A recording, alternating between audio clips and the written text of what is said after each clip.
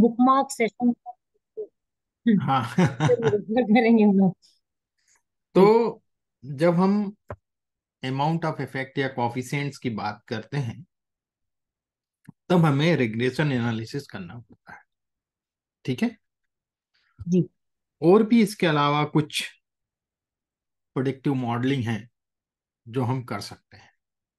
Influential में mostly हम लोग रिग्रेशन का उपयोग करते हैं।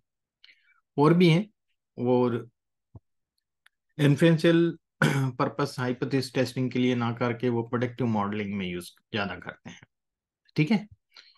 क्योंकि कुछ एल्गोरिथम जो हैं ज़्यादा इंटरप्रिटेबल नहीं है।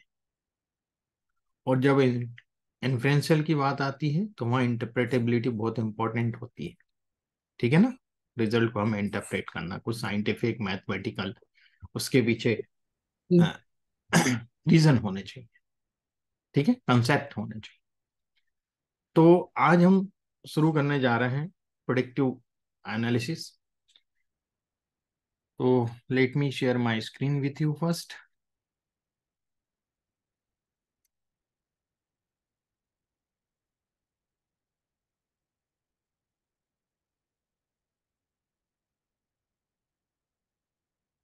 just a moment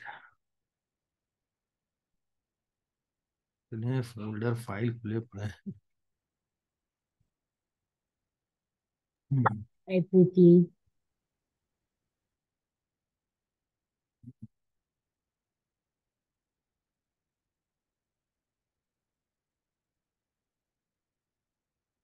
Hi hi how are you Preeti ji मैं ठीक हूँ सर बस चल रहा है बहुत कुछ।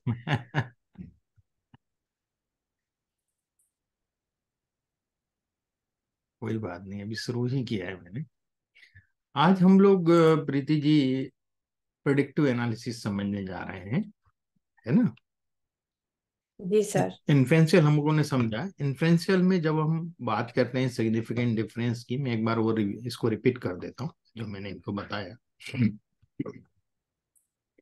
तो हम सिग्निफिकेंट डिफरेंस देखते हैं सिग्निफिकेंट इफ़ेक्ट देखते हैं या सिग्निफिकेंट रिलेशन देखते हैं है ना? हम्म। तीन चीज़ें हम्म। देखते हैं। पर रिलेशन कितना या रिलेशन को छोड़ते हम इफ़ेक्ट की बात करते हैं। एनोवा से हम इफ़ेक्ट को चेक करते हैं। मान लीजिए जेंडर है। जेंडर में मेल है फीमेल है। उसका इफ़ेक्ट इनकम पे कितना पड़ रहा है? उनकी सैलरी पे कितना है ना? हम्म हम्म। तो इफ़ेक्ट पड़ रहा है नहीं पड़ रहा है? मतलब मेल और फीमेल का जो सैलरी है वो डिफ्रेंशिएट होगा तभी तो हम बोलेंगे इफ़ेक्ट पड़ रहा है। जी। है ना? हम्म। तो वो चीज़ तो वो बताएगा कि इफ़ेक्ट पड़ रहा है या नहीं पड़ रहा है। पर कितना इफ़ेक्ट किसका पड़ रहा है ये नहीं बता पा रहा। हम्म। मेल का कितना पड़ रहा है और फीमेल का कितना पड़ रहा है। वो अमाउंट जो है इफ़ेक्ट का वो वो नहीं बताता है एनोवा हम्म। जो वो काफ़ी सिर्फ़ बताता है कि पढ़ रहा है या नहीं पढ़ रहा पड़ रहा है या नहीं पड़ रहा है। वो कॉफिशेंट्स होते हैं जिनके थ्रू हमें इफ़ेक्ट का अमाउंट पता चलता है। ठीक है? हम्म। उसके लिए हम लोग रिग्रेशन एनालिसिस की तरफ़ आते हैं। ठीक है? हम्म। रिग्रेशन एनालिसिस दूसरे भी जो प्रोडिक्टिव कुछ मॉडलिंग uh, है वो इन्फ्लुएंशियल में भी यूज़ होती है और प्रोडिक्टिव एनालिसिस में भी यूज़ होती है। हम्म। तो हम यहाँ प्रोडिक्टिव में समझेंगे उसी को हम फिर इन्फ्लुएंशियल में भी यूज़ कर सकते हैं। ठीक है? ठीक है सर तो वो आज हम शुरू करने जा रहे हैं और सबसे पहला जो प्रिडिक्टिव मॉडलिंग होती है, वो है लीनियर रिग्रेशन मॉडल ठीक है? तो आज हम उसको शुरू कर रहे हैं।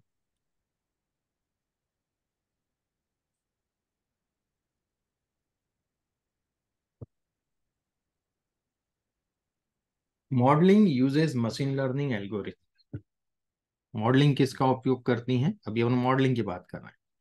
मशीन लर्निंग एल्गोरिथम का उपयोग करते हैं। In which the machine learns from the data. किससे सीखती है मशीन? डेटा से सीखती है। Just like human learn from their experiences. Same तरीका। तो machine learning models can be classified into three categories. based on the task performed and nature of the output दोनों चीज़ें, किस तरह का टास्क वो परफॉर्म कर रहे हैं, कैसा आउटपुट वो देंगे, दोनों चीज़ों के हिसाब से हमने उसको क्लासिफाई किया। पहला रिग्रेशन है, फिर क्लासिफिकेशन है, फिर क्लस्टरिंग है। Regression the output variable to be predicted as a continuous variable है ना? रिग्रेशन में जो आउटपुट वेरिएबल होता है, जो हमारा टारगेट वेरिएबल होता है, वो हमेशा कंटिन्यूस होना चाहिए न्यूमरिक होना चाहिए। Got it discrete ordinal categorical नहीं होना चाहिए।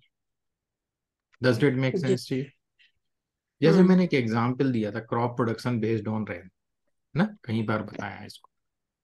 तो क्रॉप प्रोडक्शन जो है वो भी एक कंटिन्यूस वेरिएबल है और रेन जो है वो तो है ही कंटिन्यूस तो क्रॉप प्रोडक्शन हमारा टारगेट वेरिएबल है जिसको हम डिपेंडेंट वेरिएबल बोलते हैं। वो डिपेंड करता है रेन पे ठीक है? और रेन जो है उसको हम इंडिपेंडेंट वेरिएबल बोलते हैं और उसको प्रिडिक्टर्स भी बोलते हैं। ठीक है?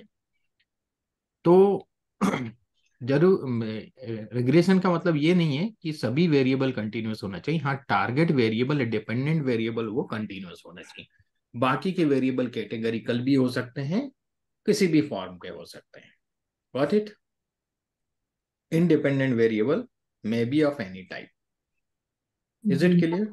Dependent hmm. variable can only be continuous हाँ, can only be continuous. In regression, or or independent can be anything. can be anything.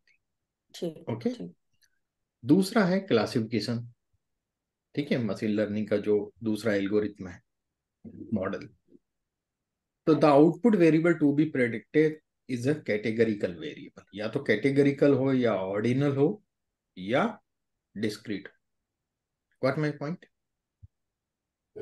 regression में आउटपुट या जो टारगेट वेरिएबल है वो कंटिन्यूस होना चाहिए। क्लासिफिकेशन में target has to be categorical categorical categorical भी हो सकता है। फॉल करेगा। हाँ कैटेगरिकल भी हो सकता है डिस्क्रीट भी हो सकता है ऑर्डिनल भी हो सकता है। गॉट माय पॉइंट मतलब उसमें बेसिकली प्रोबेबिलिटी निकालते होंगे। What is the probability of it being this और दैट ओके हाँ। गॉट इट प्रोबेबिलिटी तो दोनों में निकलती है है ना? रिग्रेशन में तो सर वो होगा ना मतलब एक्सट्रापोलेशन टाइप कुछ होगा नहीं नहीं? नहीं वो भी प्रोबेबिलिटी से ही पता चलता है। ओके ओके उसमें मीन ले लेते हैं क्या आउटपुट के है ना? बताऊँगा आगे जब एल्गोरिथम में आगे आएँगे। Classification the person is covid nineteen positive और नॉट यहाँ दो कैटेगरी दी है एग्ज़ाम्पल में पॉजिटिव है या नहीं है। बाइनरी है तो ये क्लासिफिकेशन में चला जाएगा।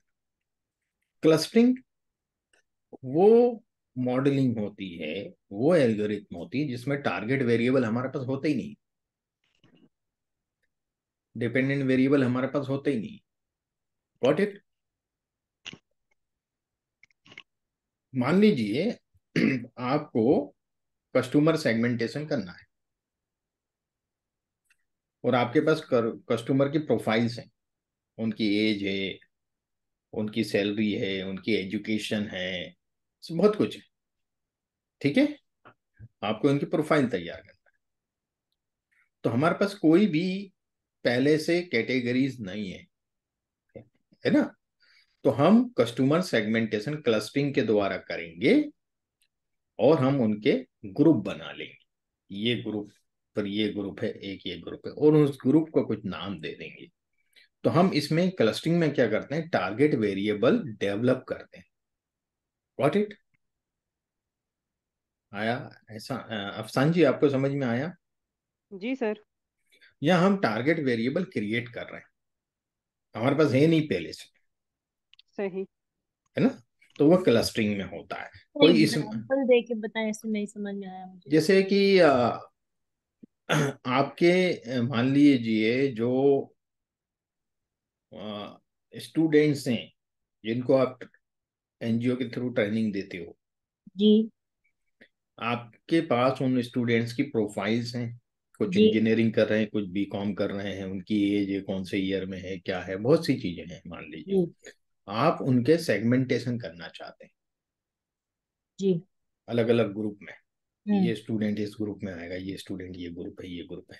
हम्म, got it hmm, not only with the one variable you have many variables जिसके अकॉर्डिंग आप उनकी बना के कौन से बकेट में जाएँगे वो? हाँ बकेट में जाएँगे। बकेटिंग आप बोल सकते हैं तो क्लासिफिकेशन और क्लस्टरिंग काफ़ी हद तक सेम है। क्लासिफिकेशन में प्री डिफाइंड होता है? हाँ इसमें प्री डिफाइन नहीं होता है। इसमें ये बनाता है। इसका मतलब जैसे इसको हम अगर किसी क्लस्टर किसी मैप पर प्लॉट करेंगे हम्म। तो हमें दिख जाएगा कि ये तीन पैरामीटर्स एक जगह आ रहे हैं ये तीन एक हाँ। जगह आ रहे हैं। ओके ओके ओके कर ठीक है। क्या हुआ? मैं आपको एक इसका एग्ज़ाम्पल बताता हूँ लाइव एग्ज़ाम्पल जो मैंने अप्लाई किया था बॉम्बे हॉस्पिटल में। ठीक है? वहाँ पर कार्डियोलॉजी डिपार्टमेंट में इन लोगों के तीन ग्रुप होते थे। ठीक है? कार्डियक पेशेंट के। ग्रुप वन में मेडिकेशन के थ्रू ठीक हो जाते हैं। ग्रुप बी जो था वो उसमें स्टेम या इस तरह के एनजीओ मतलब जो होता है लगा के या एंजियोग्राफी के द्वारा ठीक कर दिया जाता है तीसरा होता था बाईपास वॉट इट तीन ग्रुप थे। और बहुत सा डेटा जनरेट होता था। मेडिकल का इनका टीएमटी मशीन और भी बहुत से ईसीजी और बहुत सी उनकी मशीनें जब, जो जो भी रहती हैं कार्डियोग्राफी वगैरह का सब डेटा आता था, उस पेशेंट का। तो ऐसे काफ़ी पेशेंट का डेटा उनके पास जमा था। तो उन्होंने मुझे तीन ग्रुप दिए। ठीक है? सर, ये तीन ग्रुप हैं हमारे और ये क्राइटेरिया हैं। ये ये रेंज होती है, इसमें ये रेंज होती है। अब वो तो मल्टीपल वेरिएबल हैं, करीब पचास साठ वेरिएबल थे। बीपी था, बहुत सी चीज़ें थी शुगर थी ब्लड पे प्रेशर तो बता ही दिया बीपी और भी बहुत से फैक्टर्स थे। यूरिन से रिलेटेड जो होते हैं क्रेटनिन वगैरह, ये सब मतलब there are so many things cholesterol और सो मेनी थिंग्स अब उसके हिसाब से तो ठीक है यदि टारगेट वेरिएबल इन्होंने मुझे दे दिया है क्लासिफिकेशन में कि ये हम्म। ग्रुप ए है ये ग्रुप बी है ये ग्रुप बी सी है टारगेट वेरिएबल उन्होंने दिया है। ठीक है तब तो मैं क्लासिफिकेशन लगा लूँगा मॉडल बना दूँगा क्लासिफिकेशन व्हाट माय पॉइंट पर मैंने क्या किया? उस टारगेट वेरिएबल को हटा दिया डेटा में से। और मैंने क्लस्टरिंग करी। और जब क्लस्टरिंग करी तो मेरे पास चार ग्रुप आए तीन की जगह। कितने आए?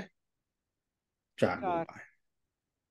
जब मैंने वो चीज़ उनको बताई डॉक्टर्स को उनकी पैनल कि साहब आप तो तीन ग्रुप बोल रहे हैं पर मेरी क्लस्टरिंग इसके चार ग्रुप बना रही है आप इसको थोड़ा बारीकी से स्टडी करें। और वो वर्ल्ड में कहीं भी नहीं होता उसके पहले तीन ग्रुप ही माने जाते थे। उसके बाद जब उन्होंने उसको बहुत माइन्यूटली स्टडी किया तो हेयर लाइन डिफरेंस देखा ग्रुप वन को दो ग्रुप में डिवाइड हो गया था वन अच्छा। तो उसको वन ए और वन बी नाम दिया गया। आजकल जो भी इनकी मेडिकल साइंस की किताबें होती हैं उसमें वन ए और वन बी आ गया वन को। तो क्लस्टरिंग कई बार इतना इंपॉर्टेंट रोल प्ले कर जाती है। समझ रहे हैं आप पॉइंट को? Clustering is also very important algorithm है ना? तो फिर उस हिसाब से काम हुआ उसके अंदर आगे जाके एक रिसर्च पेपर भी उनका पब्लिश हुआ। और ये सब चीज़ें रहती हैं कि अपन कहाँ से क्या निकाल सकते हैं डेटा में से। ठीक है? क्लिक होना चाहिए दिमाग पे यार मैं इसको ऐसे भी करके देख लेता हूँ। ठीक है ना? और ये कब होगा जब किक कब मिलेगी जब आप में पैशन होगा। डेटा के प्रति। तभी आप कुछ नया निकाल के दे सकते हो उनको। ठीक है ना? जो वो इमेजिन ही नहीं कर रहे थे। तो इस तरह से क्लियर हो गया ये? यस सर है ना? ये एग्ज़ाम्पल भी मैंने आपको बता दिया real example real world example बता दिया। अब हम मशीन लर्निंग मॉडल्स को और भी तरीके से क्लासिफाई कर सकते हैं। यहाँ दो ही दिए हैं एक्चुअली तीन होते हैं। सुपरवाइज अनसुपरवाइज और सेमी सुपरवाइज्ड लर्निंग मेथड तो सुपरवाइज्ड में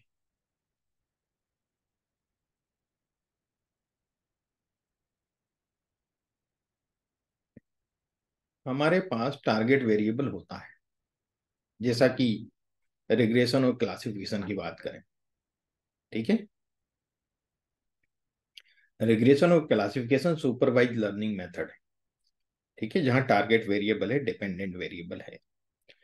अनसुपरवाइज वे होते हैं, जहाँ टारगेट वेरिएबल नहीं होता है।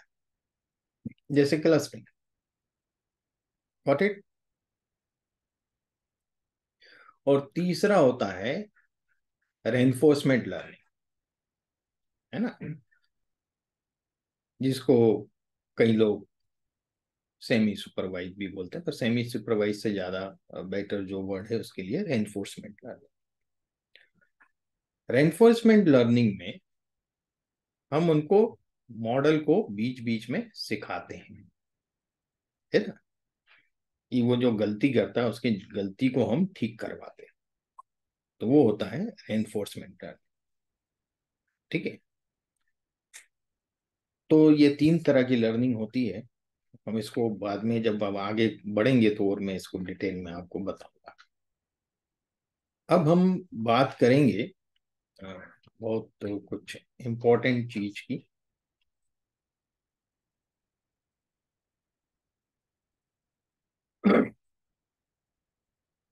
पहले मैं आपको रिग्रेशन एनालिसिस के बारे में थोड़ा सा बताता हूँ। ठीक है?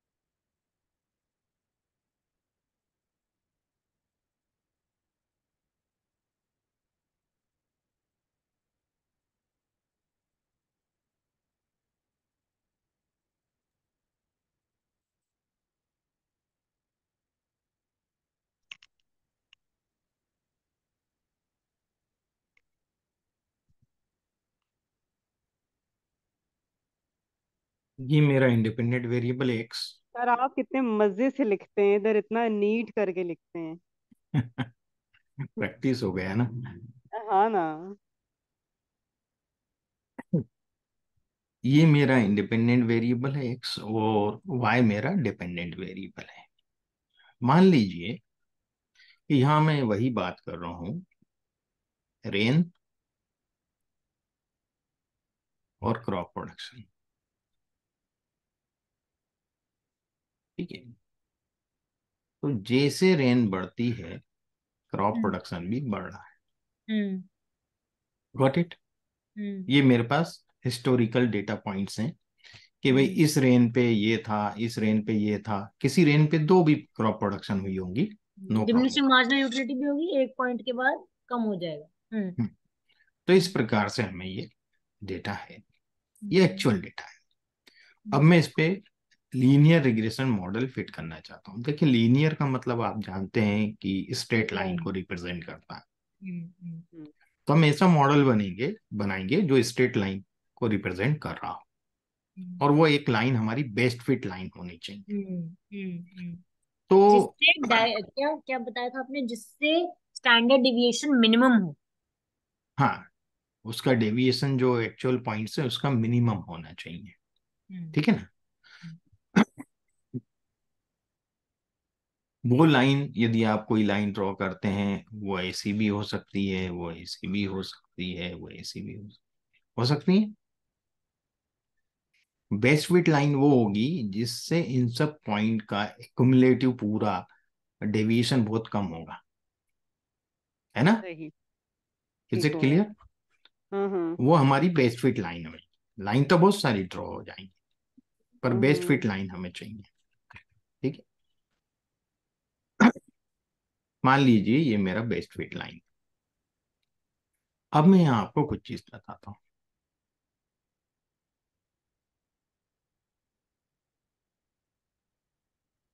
ये एक पॉइंट है मेरे पास एक्चुअल पॉइंट है। ये मेरा एक्स वन है। ठीक है? इज़ इट क्लियर जी सर और लाइन जो है वो प्रिडिक्ट कर रही है। हम्म तो ये मेरा ये सॉरी ये पॉइंट यहाँ पे एक्स वन है। मैं इसको जरा एक सेकेंड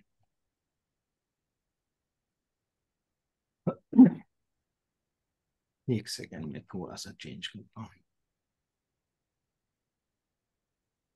ये यहाँ पर एक्स एक्सिस पे तो एक्स वन है। जी। हम्म। इस पर जो वाई वन मेरा वो है जो हाइट कहलाएगी वो वाई कहलाएगी ना वाई एक्सिस पे। जी। जी। ये मेरा वाई वन है एक्चुअल वन हम्म और मेरा मॉडल प्रिडिक्ट कर रहा है कि वाई वन ये होना वाई चाहिए टू प्रिडिक्टेड। एक्स वन पे वाई टू कर रहा है। हम्म। नहीं नहीं वी अच्छा प्रिडिक्टेड वाई वन हम ऐसे ठीक लिखेंगे है। हम्म हम्म हम्म, ठीक है सिंबॉलिकली। ठीक है। तो हमारा मॉडल बोल रहा है कि भाई वाई वन ये होगा पर हम्म। एक्चुअल वाई वन क्या है? ये है इतनी हाइट है है। ठीक है। ठीक है इसी प्रकार मान लो एक पॉइंट यहाँ ये एक्स टू था। हम्म। तो इधर वाई टू हुआ मेरा। जी और नीचे प्रिडिक्ट कर रहा है। ये नीचे प्रिडिक्ट कर रहा है? जी समझ में आया? बैलेंस आउट हो रहा है। कुछ ऊपर जा रहे हैं कुछ नीचे जा रहे हैं हाँ। बैलेंस आउट हो रहा है। हम्म। तो ये जो डेविएशन है हम्म। यहाँ से यहाँ तक ये जो डेविएशन है ये एरर हुई कि नहीं एक प्रकार की? हाँ। हम्म। समझ में ये आ रहा एरर है जितना क्लोज टू ज़ीरो होगा उतना उतनी बेटर कम एरर होगी हाँ।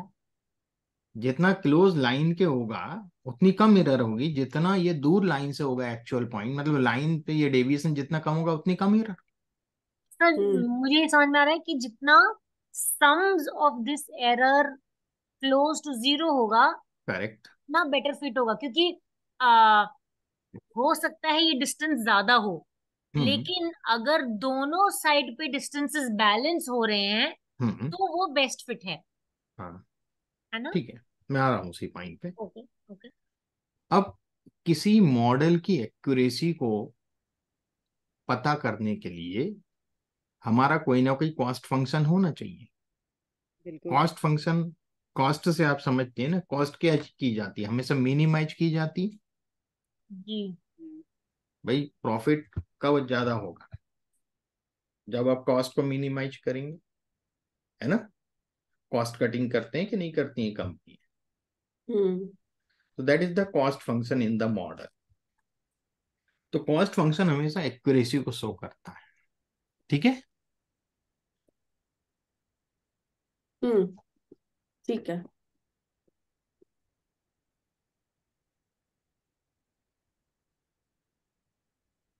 रिया समझ में आ रहा है? ठीक है। अब क्या होगा? इसका कॉस्ट सर फ़ंक्शन क्या होगा?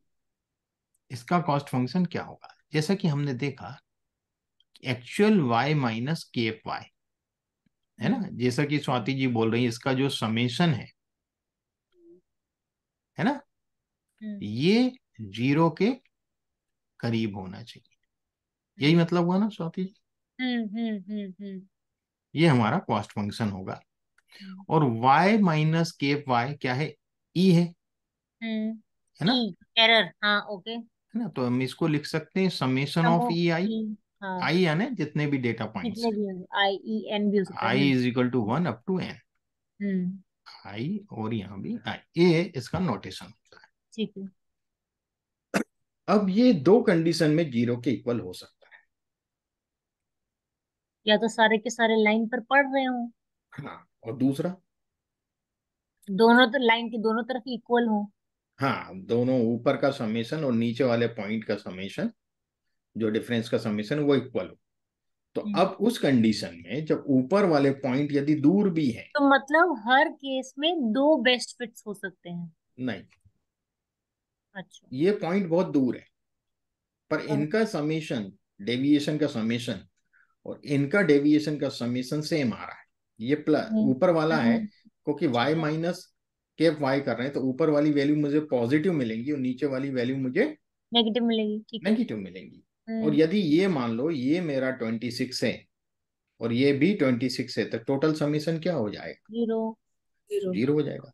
तो यहाँ तो एक भी पॉइंट लाइन पे लाई लाइन नहीं कर रहा। नहीं। है नहीं है ना? तो फिर सर ये भी हो सकता है कि लाइन के एक तरफ़ पॉइंट्स ज़्यादा हैं लेकिन बहुत पास हैं और हाँ। लाइन की दूसरी तरफ़ पॉइंट्स कम हैं लेकिन बहुत दूर हैं। करेक्ट ये भी हो सकता है। Okay okay. तो नंबर ऑफ़ पॉइंट्स इधर उधर इक्वल हो वो तो ये जो कॉस्ट फ़ंक्शन है जी। ये वायबल नहीं है। है ना? क्या क्या वाइबल नहीं है? कॉस्ट फ़ंक्शन ये जो हमने बनाया है अभी y माइनस के वाई वाला जो समीशन ले रहे हैं हम ये वायबल नहीं है। अभी तो एक हमने बोला कि वाइबल है मैंने कब बोला अभी मैं तो तो हम ये तो कॉस्ट डिस्कस कर रहे थे कि वाइबल है। वायबल मैंने बोला ही नहीं है अभी तक शब्द पहली बार यूज़ किया। हाँ नहीं मतलब अभी तो हम डिस्कस तो वही कर रहे थे कि हाँ इट कैन मेक सेंस मैंने ये बताया कि ये जो ज़ीरो आपने बोला ज़ीरो के इक्वल होना चाहिए समेशन एरर का। हाँ। मैंने उसी बात को रिपीट किया। अच्छा। है ना? कि भाई समेशन जो एरर का है वो ज़ीरो के करीब होना चाहिए। मैंने लिखा है हाँ। ना? हाँ हाँ हाँ हाँ। बोर्ड पे दिख ही रहा है आप। हाँ हाँ हाँ। फिर मैंने इसमें दो कंडीशन बताए कि दो सिचुएशन में ये ज़ीरो इक्वल के ज़ीरो के इक्वल हो सकता है दो कंडीशन जी जी जी। पहली कंडीशन के पूरे एक्चुअल पॉइंट भी लाइन पे आ जाए हाँ। तो डेविएशन सभी का ज़ीरो होगा। ज़ीरो होगा। E one E two E three सभी ज़ीरो होंगे।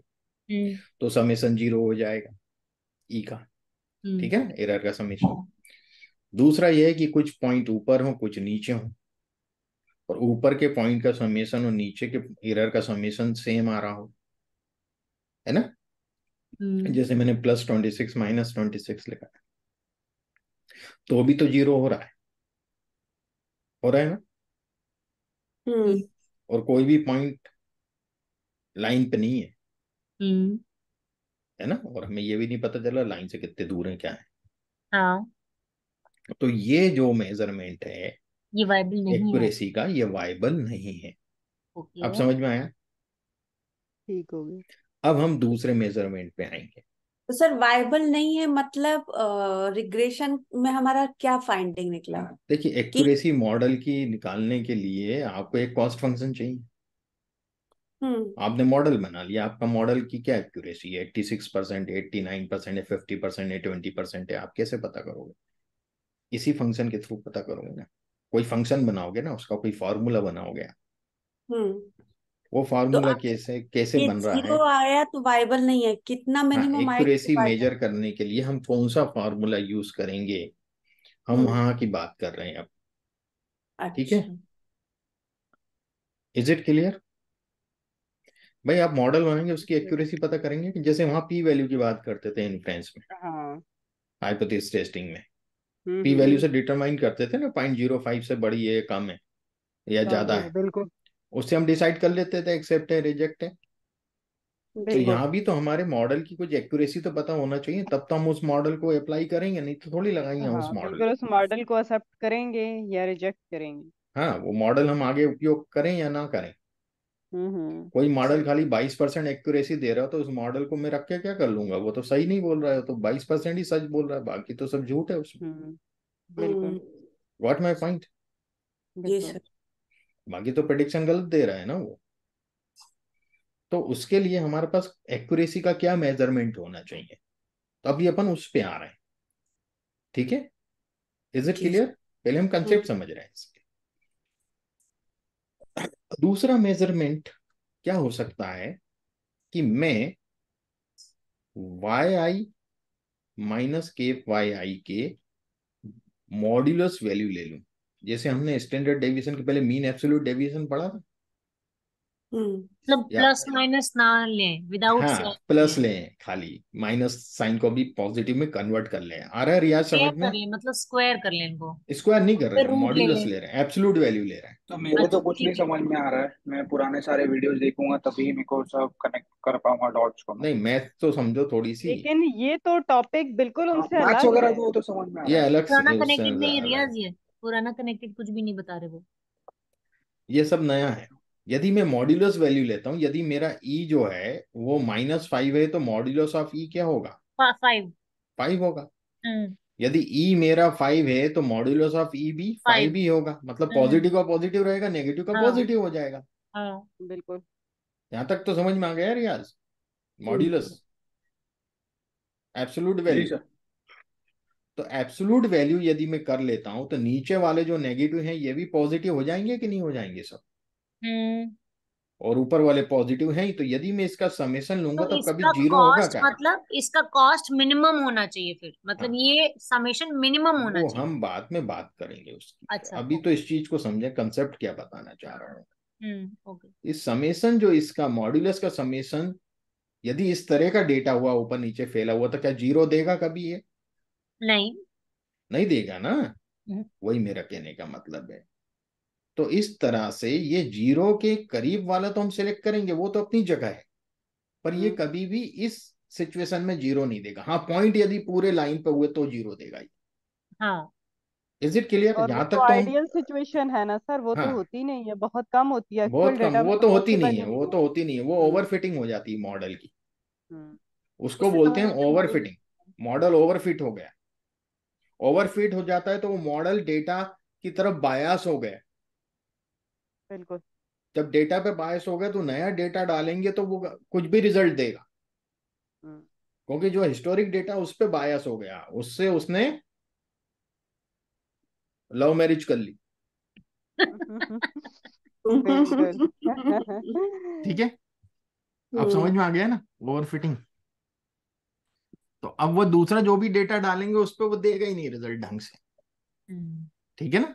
वॉट इट अब गॉट सर जैसे द्रोणाचार्य वाला एक किस्सा है कि अर्जुन उनका बहुत प्रिय शिष्य था था? हम्म। Arjun is the data historic data है ना? और एकलव्य जो था वो उसने द्रोणाचार्य की मूर्ति रख के वो बाण चढ़ाना सीखा था। हम्म। और वो तो अर्जुन से भी बहुत आगे था। धनुर्विद्या में है ना? हाँ। कुत्ते के मुँह में पूरे तीर डाले थे जिसमें कुत्ते को जख्म भी नहीं हुआ और पूरा मुँह जो है भोंकना बंद हो गया कुत्ते का। और एक जख्म भी नहीं हुआ। तो द्रोणाचार्य ने क्या किया? क्योंकि वो बायास थे अर्जुन की तरफ़ तो उन्होंने क्या किया? उसका अंगूठा मांग लिया। गुरु दक्षिणा में जब तूने मेरी मूर्ति रख के सीखा है बना के तो गुरु दक्षिणा दे भाई। उसने बोला क्या चाहिए? उन्होंने बोला अंगूठा चाहिए अंगूठा दे दिया। तो वो बायासनेस हो गई ना। ऐसे ही डेटा में यदि ओवरफिट हो जाता है तो बायास हो जाता है यदि वो पूरे पॉइंट लाइन पे आ गए तो। तो हम्म। यहाँ पर एक तो ये मेज़रमेंट हुआ है ना? अब क्या होता है कि हम खाली इसको ये तो समेशन आ गया समेशन तो कुछ भी आएगा पर हम क्या करते हैं हमेशा इनके इसको बोलते हैं M A E M A ई का फुल फॉर्म होता है मीन एब्सोल्यूट एरर है ना? Mean absolute average of error error तो हम क्या करेंगे कि समेशन ऑफ़ मैं ई लिख दू ना? हाँ। ई का मतलब वही है वाई आई माइनस के वाई आई हाँ ठीक है? हाँ और एब्सोल्यूट करेंगे इसको। एब्सोल्यूट करेंगे। हम्म। और उसका मीन ले लेंगे। तो मीन ऑफ़ एब्सोल्यूट एरर है ना? हम्म। एब्सोल्यूट एरर का मीन मतलब उसको एन से डिवाइड कर रहे हो समेशन को तो वो मीन हुआ। हम्म। एक तो ये मेज़रमेंट हुआ। हम्म। गॉट माई पॉइंट क्लियर हम्म। दूसरा मेज़रमेंट एक और है जो स्टैंडर्ड एरर में हम करते थे। उसको बोलते हैं आर एम ए सी ये सब आएगा जब ये अपन रिज़ल्ट निकालेंगे ना तो ये सब वैल्यू देगा वो जब अपन मॉडलिंग करेंगे। तो उस हम्म। वैल्यू से तो हमें डिटरमाइन करना है ना इंटरप्रेट करना है मॉडल की क्या एक्यूरेसी है कैसा मॉडल काम कर रहा है। ठीक है ना? सर ये रूट मीन स्केयर वैल्यू है। हाँ ये कैसे निकलता है मैं बता रहा हूँ। इसमें हम क्या कर सकते हैं कि वाई आई माइनस के वाई आई का स्क्वायर ले लें जैसे स्टैंडर्ड डेविएशन में हाँ, करते थे तो फिर उसका वो समेशन ले लें एन से डिवाइड कर दें और रूट ले लें। हम्म। तो root mean square error root ना? में ठीक है। भाई मैं एरर एरर के स्क्वायर किए हम्म। और फिर उसका मीन निकाला और फिर उसका रूट निकाला। ऐसे उल्टा चलता है। ये बहुत ही अच्छा आपने दिखाया है इधर से इधर इधर से इधर। है ना? ऐसे इसमें एरर का एब्सोल्यूट वैल्यू लिया फिर उसका मीन लिया। ऐसे हमेशा फॉर्मूले के नाम रखे जाते हैं। ठीक है? तो इसको बोलते हैं आरएमएसी और क्या बोलते हैं? ये आरएमएसी का फॉर्मूला है। एक ये भी तरीका हो सकता है। ये सर ये सारे तरीके देखने के कि मॉडल कितना बेटर फिट है। हाँ better fit a better fit हाँ। Fitting of the model we can check through this यहाँ तक समझ में आ गया? अभी तक सर। अब ये जो दोनों मेजर हैं मॉडल कैसे बनेगा वो नहीं पता। वो तो अभी बताएँगे ना अभी उस पे आएँगे पहले मॉडल पे एक्यूरेसी कैसे चेक करेंगे ये तो देखें। मॉडल तो अभी आएँगे आज तो थ्योरी चलेगी कल से मॉडलिंग चालू होगी। अच्छा ओके हाँ ना? पहले थ्योरी के कंसेप्ट जब तक क्लियर नहीं हाँ होंगे नहीं नहीं सर बिल्कुल तो बिल्कुल। कोई मतलब ही नहीं है। बिल्कुल बिल्कुल। है ना? अभी मैं मॉडल चला दूँ और बोलूँ आरएमएसी ये फलाना ये आपको पता ही नहीं आर आरएमएसी क्या है फलाना क्या है? और मैं उसको हाँ। इंटरप्रेट करूँगा तो आपको समझ में नहीं आएगा क्या मतलब निकल रहा है हाँ इसने ऐसा सर ने हाँ क्यों किया है ना? हाँ हाँ। ये दोनों मेजर जो हैं ये एब्सोल्यूट मेजर है। एब्सोल्यूट मैंने बताया थे आपको पहले डिस्पर्सन में। स्टैंडर्ड डेविएशन जो है एब्सोल्यूट मेजर है। पर कॉफिशेंट जो होते हैं वो रिलेटिव मेजर होते हैं। बताया था आपको? जी। याद आया कुछ? जी जी जी। कॉफिशेंट यानी रेशियो हम्म। तो यहाँ पर भी हमारे पास कुछ रिलेटिव मेजर होगा। इसका वैल्यू कुछ भी हो सकता है ना मैडम? क्यों हो सकता है कुछ भी? जो वाई की वैल्यू होगी। यदि वाई मान लीजिए सैलरी है सैलरी लाखों में है हम्म। ईयरली किसी की डेढ़ लाख है किसी की छह लाख है किसी की अठारह लाख है छत्तीस लाख। तो यदि वाई माइनस के वाई आई लूँगा मैं मीन सैलरी से उसका डेविएशन या प्रिडिक्टेड से उसका डेविएशन देखूँगा। तो ये वैल्यू मेरी four figure three figure four figure में आएगी कि नहीं आएगी? हाँ मतलब ये मतलब ये थ्री टू फोर डिजिट में आएगी कि नहीं आएगी बताइए मेजर पे डिपेंड करेगा कि मेजर पे डिपेंड करेगा। यदि एज की बात कि करूँ कोयला देख रहे हाँ यदि एज की बात करूँ तो वो तो वन डिजिट या टू डिजिट में आएगी। जी। है ना? हाँ। क्लियर हो रहा है इतना? जी जी जी यस जी। सर तो ये हाँ अपन कुछ भी नहीं कह सकते। है ना? हाँ यदि हमने दो तीन लोगों ने मॉडल मतलब बनाए हैं सेम चीज़ के। तो नहीं समझे कुछ भी नहीं कह सकते मतलब? हम खाली मैं आपको एक ही मॉडल का आरएमएसी दू रूट मीन स्क्वायर एरर कि भाई इसका रूट मीन स्क्वायर दो हज़ार तीन सौ चौवन है। हाँ। आरएमएसी तो आप हाँ। कुछ डिटरमाइन कर सकते हैं कि ये मॉडल कितना अच्छा है कितना बुरा। है नो मतलब दो तीन अगर आप देंगे उसी में तो बता हाँ पाएँगे सेम मॉडल का दो लोगों ने मान लिया अफसान ने अलग बनाया प्रीति ने अलग बनाया रियाज ने अलग बनाया मैंने हाँ। अलग बनाया और आपने अलग बनाया। हाँ। और सबका आरएमएसी निकला। सेम डेटा से सेम मॉडल बनाए अपन ने। हाँ। है ना? हाँ। भाई रोटी हर एक से एक जैसी थोड़ी बनेगी। हाँ हाँ हाँ। ऐसे ही है। मॉडल जो है ना हम्म। कितना परफेक्ट आप बना पाते हो। वो वही चीज़ें तो अपन को सीखना है। तो हम्म। सबका आरएमएसी डिफरेंट आया है ना? तो हम्म। जिसका आरएमएसी कम होगा वो मॉडल अच्छा माना जाएगा ना? हम्म। कंपैरिजन में तो पता कर सकते हो आप। जैसे मैंने वहाँ बात करी थी मीन ए क्लास का मीन और बी क्लास का मीन हम्म कंपेयर करके तो आप बता सकते हो ये अच्छा कर रही है बी अच्छा कर रही है। हम्म। हम्म सेम आरएमएसी भी यदि हमारे पास एक से ज़्यादा है मॉडल के और सेम हम्म। डेटा से बनाया हुआ सेम एल्गोरिथम से बनाया हुआ मॉडल है तो हम उनके आरएमएसी से चेक करके बता सकते हैं आपने अच्छा मॉडल बनाया आपने ठीक नहीं बनाया इसमें इंप्रूवमेंट की ज़रूरत है। What hmm my point yes पर यदि मैं सिंगल मॉडल का आरएमएसी आपको दूँ तो आप डिटरमाइन कर सकते हो? नहीं कर सकते ना? सिंगल आरएमएसी दे रहा हूँ तो ये मॉडल कितना अच्छा है आप बता सकते हो? नहीं बता नहीं सकते। नहीं। नहीं है sir clear Preeti ji clear हुआ आपको? जी सर हाँ जिनकी आवाज़ नहीं आ रही उनसे पूछना ज़रूरी रहता है मेरा। जिनकी आवाज़ आ रही है तो कोई दिक्कत नहीं मुझे वो समझ रहे मेरा मेरा बेटा आके म्यूट कर दिया और सिखाया कि इसको प्रेस करके भी तुम बोल सकती हो। अरे वाह। ठीक है समझ में आया हमारे आपको? घर में भी आज वो सिस्टर के बच्चे आए हुए हैं उनको जाके इशारा करना पड़ता है कि चुप करो। अरे। इतना क्लियर हो गया ना सब? जी सर। ना? जी सर। अब देखिएगा इसमें भी हम रिलेटिव मेजर की बात करते हैं। एक रिलेटिव मेजर लेके आएँगे इसमें। देखिएगा जब हमने कॉफिशिएंट्स बनाए थे तो उस स्टैंडर्ड डेविएशन को मीन से डिवाइड किया था। याद आया आपको? जी।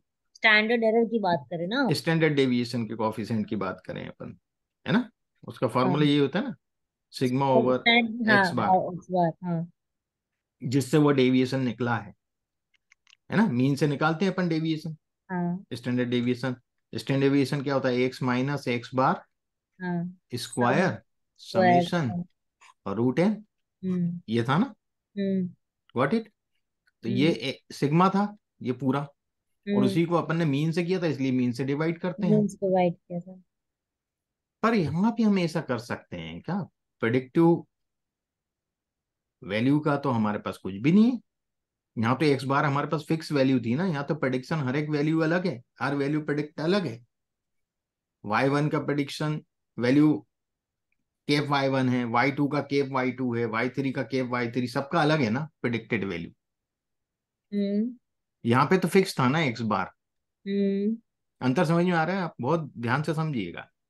हाँ मतलब वहाँ पर हम एक एक फिक्स्ड वैल्यू से हाँ डिफरेंस निकाल डेविएशन देख हैं रहे थे। यहाँ फिक्स वैल्यू से नहीं है। यहाँ वेरिएबल अलग अलग है। हाँ। व्हाट माई पॉइंट हाँ। यस तो तब हम रिलेटिव मेजर कैसे बनाएँगे? तब एक से बनना पॉइंट से था यहाँ पर एक लाइन से है एंड इस एंड हम्म, इसीलिए ठीक है? हम्म। तो यहाँ हम रिलेटिव मेजर कॉफिशिएंट से तो नहीं बना सकते है ना? हम बनाएँगे दूसरे तरीके से। देखिएगा। टेंजेंट से उसके एंगल से। नहीं। एक होता आर आर होता था कॉफिशेंट ऑफ़ कोरिलेशन पढ़ा था आपने? Coefficient of correlation yes sir पढ़ा हम्म। था बिल्कुल। पढ़ा था ना ये दो वेरिएबल हाँ के बीच तो में कैसा कोरिलेशन है। हाँ ये तो माइनस वन से वन के बीच में वैल्यू होता हाँ था इसका। हाँ हाँ हाँ यहाँ तक क्लियर है? जी। है ना? हम्म अब आर जो है वो दो ही वेरिएबल के बीच में कोरिलेशन बताता था। बताता था?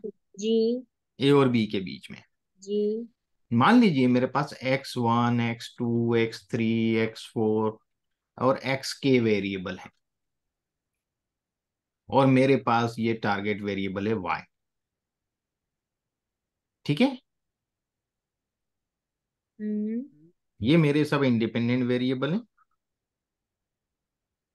और ये मेरा डिपेंडेंट वेरिएबल है। यहाँ तक क्लियर हुआ?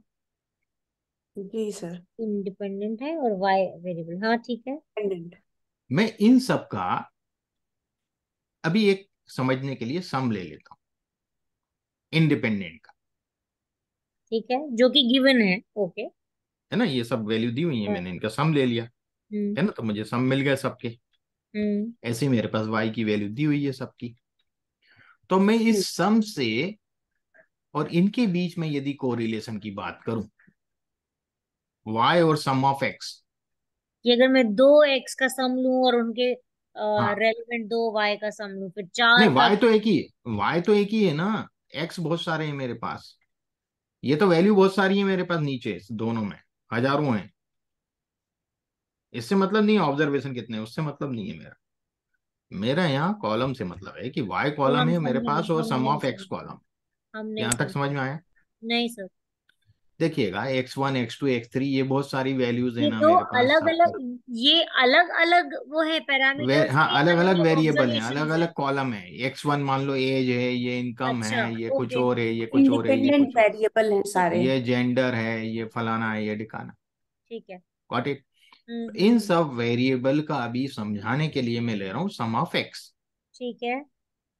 है ना? इनका मैंने सम कर लिया वैल्यू का। हाँ हाँ और इस सम का मैंने मेरे टारगेट वेरिएबल के साथ कोरिलेशन चेक किया। ठीक है तो वो दो वेरिएबल्स हो गए बेसिकली दो वेरिएबल हो गया फिर मेरे हाँ पास कोरिलेशन हाँ। में से दो में ही पता किया हाँ जाता है। हाँ पर हाँ यदि मैं बहुत सारे वेरिएबल की वैल्यू को एक्युमुलेट करके एक जगह रखता हूँ और उसको टारगेट वेरिएबल से कोरिलेशन चेक करता हूँ तो उसको मैं कैपिटल आर से रिप्रेजेंट करूँगा ना कि स्मॉल आर से। पहला तो ये अंतर समझे। अगर मैं बहुत सारे वेरिएबल्स के एक से ज़्यादा वेरिएबल ठीक है और सम के सम से अगर मैं हम्म। कोरिलेशन निकालती हूँ तो कैपिटल आर होगा ओके यहाँ तक समझ में आ गया? जी। ठीक है ना? जी। ओके तो ये भी एक प्रकार से कोरिलेशन कोफिशिएंट हुआ? हाँ। लेकिन कलेक्टिव के अगेंस्ट कलेक्टिव है। है ना? हम्म।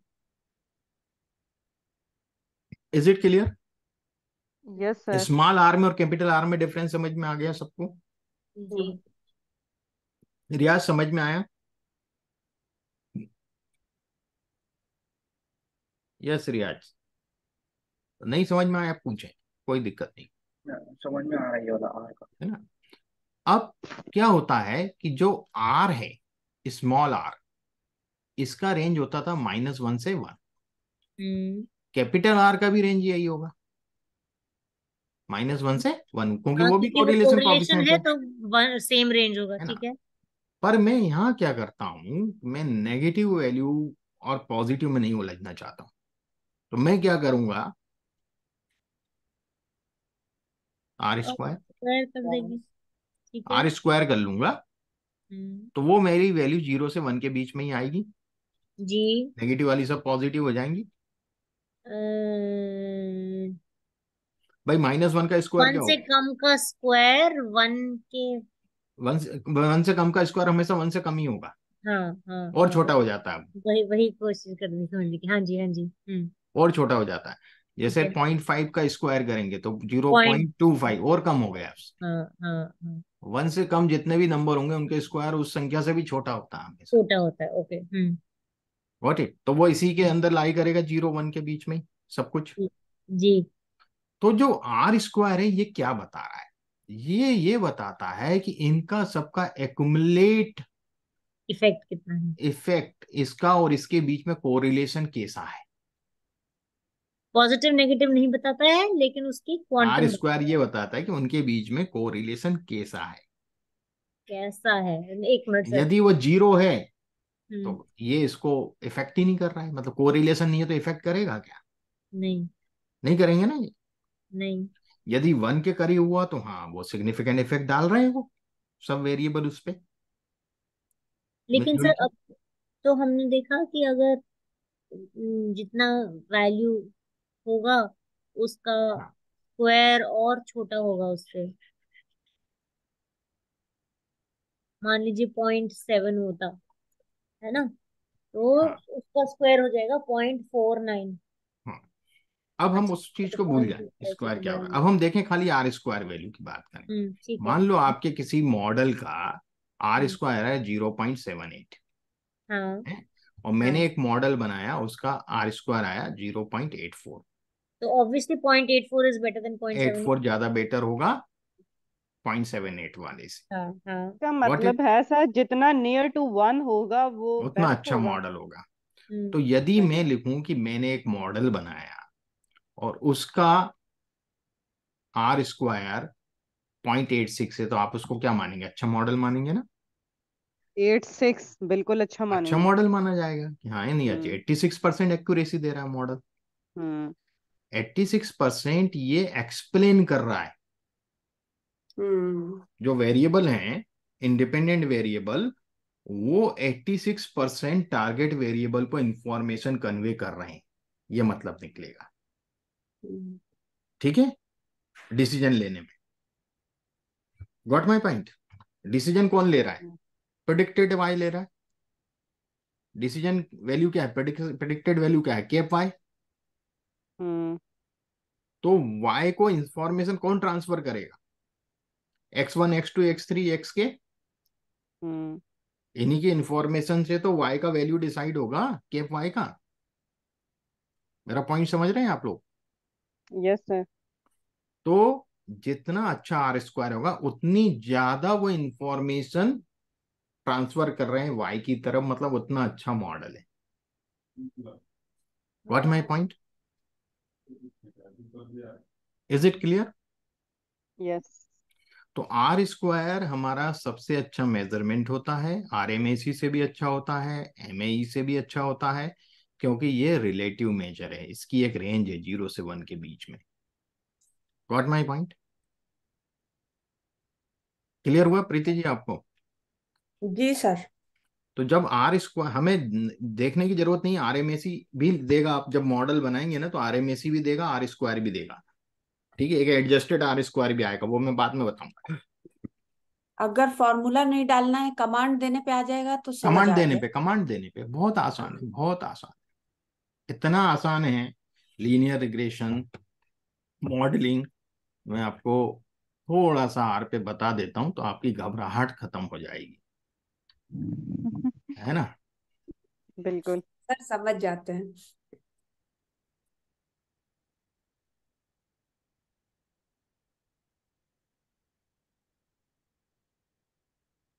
थोड़ा सा मैं बता देता हूँ आपको ठीक है?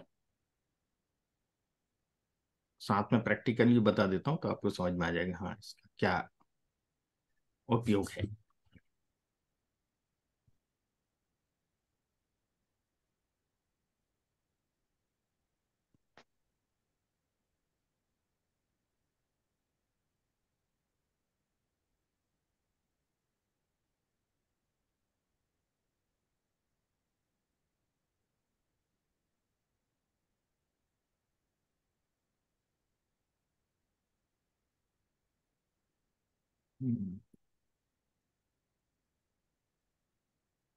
देखिए मैं बहुत सिंपल सा आपको बताता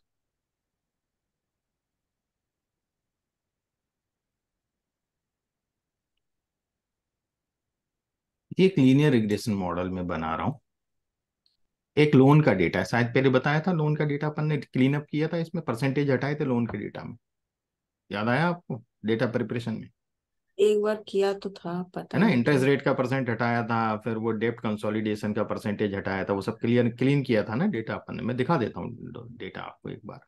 ये डेटा याद आ गया आप कि नहीं आया अफसान जी क्लियर हुआ ये डेटा याद आया आपको? फीको रेंज भी था इसमें अपन ने इस पे भी काम किया। जी जी फीको रेंज से याद आ गया अब याद आ गया ना आप सबको? ये भी अपन ने हाँ हटाए थे लेस देन और ये सब हटाए थे नहीं हटाए थे? बिल्कुल सर। गॉट इट जी तो प्रिपरेशन क्यों करते हैं? कि लीनियर रिग्रेशन की एक कंडीशन होती है। कि यदि आपके जितने भी इंडिपेंडेंट वेरिएबल होना चाहिए वो सब न्यूमरिक में कन्वर्ट करना पड़ेगा आपको। कैटेगरिकल हो तो भी। तो उसके लिए डमी वेरिएबल बनाते हैं और जो जैसे डेप्ट कंसोलिडेशन है क्रेडिट कार्ड है इसके तो हम कुछ ना इसमें तो हम रैंकिंग भी नहीं दे सकते ऑर्डर भी नहीं दे सकते। ऑर्डर दे सकते हैं क्या इनके? लोन पर्पस के लिए। नहीं दे सकते ना? भाई एजुकेशन लेवल की बात अलग थी। तो इसके डमी वेरिएबल बनते हैं बाइनरी ज़ीरो वन के फॉर्मेट में। ठीक है? जैसे मैंने हम्म बताया ना जेंडर में मेल है फीमेल है तो जेंडर मेल लिखेंगे तो जो मेल होगा वो वन फीमेल होगा ऑटोमेटिक ज़ीरो हो गया। हम्म, तो मुझे दो कैटेगरी थी मुझे एक ही वेरिएबल से काम चल गया कि नहीं चल गया मेरा? जेंडर मेल से ही काम चल गया कि नहीं चल गया आप बताइए। जब मैं जेंडर फीमेल भी बनाऊँ। भाई वो जेंडर मेल ही तो मुझे बता रहा है जहाँ वन है वो मेल है जहाँ ज़ीरो है वो फीमेल है। फीमेल बिल्कुल। तो एक ही वेरिएबल दो कैटेगरी है तो एक वेरिएबल से काम चला कि नहीं चला मेरा? एक ही डमी वेरिएबल से? हम्म तो ऐसे मेरे पास यदि के के कैटेगरी है मान लो पाँच कैटेगरी है तो मुझे चार ही डमी वेरिएबल बनाना पड़ेंगे। व्हाट माई पॉइंट यस है ना? हमेशा एक डमी वेरिएबल कम बनाना पड़ता है जितनी कैटेगरी होंगी उस। तो वो अपन बाद में देखेंगे उस चीज़ को समझेंगे। मैं खाली आपको लीनियर रिग्रेशन बताता हूँ मैं इसको पहले यहाँ से जो डेटा प्रिपरेशन हमने किया था वो तो मैं यहाँ डायरेक्ट कर देता हूँ यहाँ तक। हम्म, ठीक है? ये मैंने कर दिया पूरा इधर तक।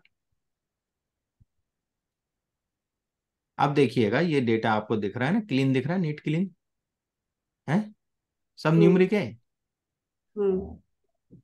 आगे लास्ट देखिए। सर लास्ट लास्ट में देखिएगा हाउस रेंट मैंने बाइनरी कर दिए वो सब जो हाँ कैटेगरी थी हाँ उधर पे। हम्म। जो जो कैटेगरी कर लो थे उनको मैंने बाइनरी कर दिया। वो कैसे किया वो अपन बाद में जब इसकी मॉडलिंग करेंगे ना तब मैं बताऊँगा। अभी तो सब सब न्यूमरिक हो गए कि नहीं हो गए? हम्म। रियाज दिख रहे हैं सब न्यूमरिक है वेरिएबल ठीक है? जी सर जी सब न्यूमरिक हो। गए। अब देखिए क्या करते हैं हम। सबसे पहले तो हम डेटा को दो पार्ट में डिवाइड करते हैं। प्रिपेयर करने के बाद। हम क्या करते हैं? सेवेंटी परसेंट डेटा मैं ट्रेनिंग मॉडल को ट्रेन करने में रखूँगा और तीस परसेंट में मॉडल को टेस्ट करने में यूज़ करूँगा। वॉट माई पॉइंट मुझे टेस्ट भी तो करना पड़ेगा ना अननोन डेटा में डाल रहा हूँ तो कैसा रिस्पॉन्स दे रहा है? इज़ इट क्लियर तो मैं यहाँ पर खाली रन करके बताता हूँ। मैं आपको ये बताना चाह रहा हूँ कि हाँ ये मॉडल बनता कैसे मैं वो सब चीज़ें बाद में बताऊँगा, बाकी की।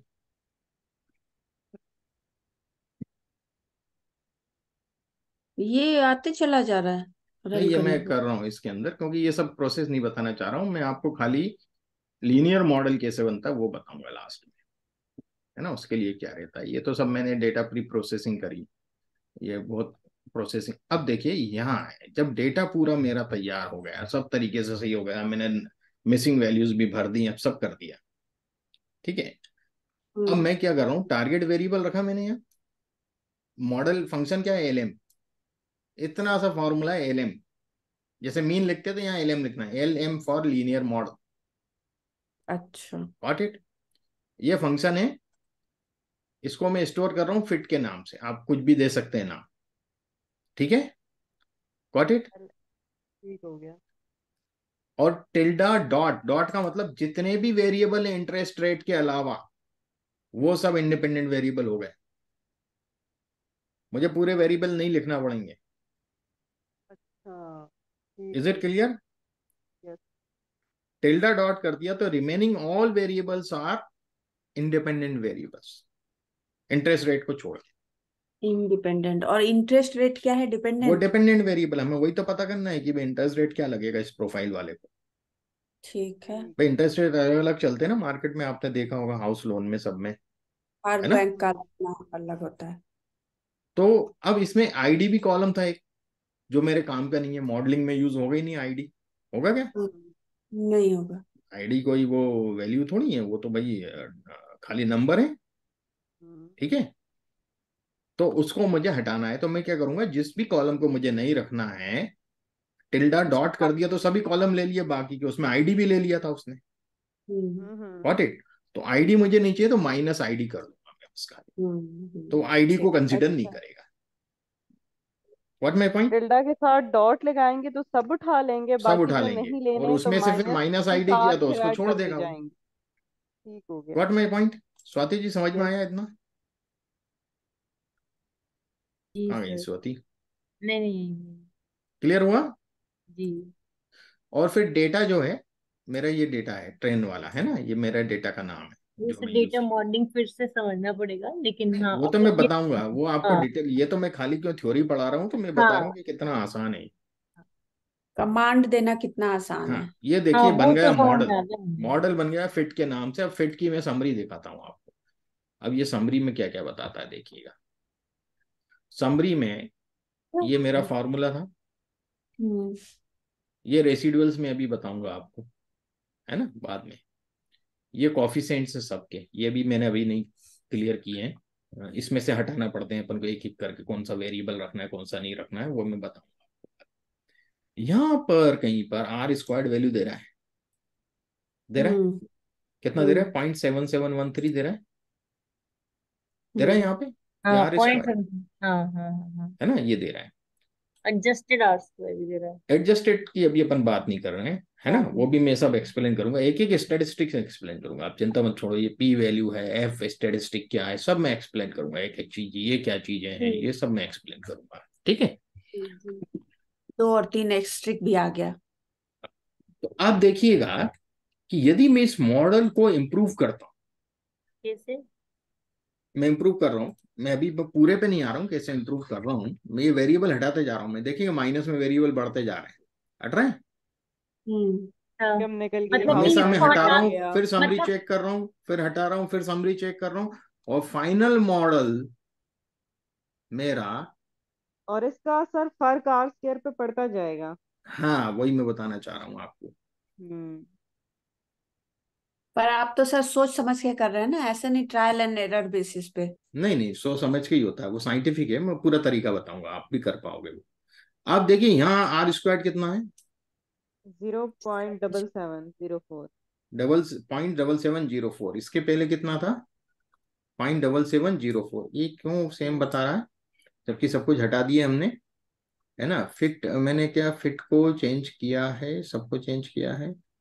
और यहाँ पर क्यों नहीं हुआ? एक सेकेंड में देखो, ये बढ़ना था।